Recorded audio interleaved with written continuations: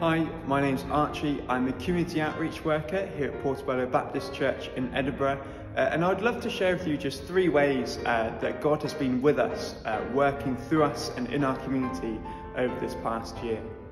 Uh, the first is that uh, in the summer, uh, we were, thanks to the generosity of some of our members, able to send five young people to SU camps over the summer uh, who had a fantastic time, uh, came back totally engaged, switched on, um, passionate about following Jesus. Uh, and just a few Sundays ago, we even baptized one of them, which was just such a privilege, so incredible. And on the theme of baptism number two, uh, partly through some of the English conversation classes that we've been running this past term, uh, we were able just last Sunday to baptize someone who's become a part of our community of faith, uh, partly through those English conversation classes, which just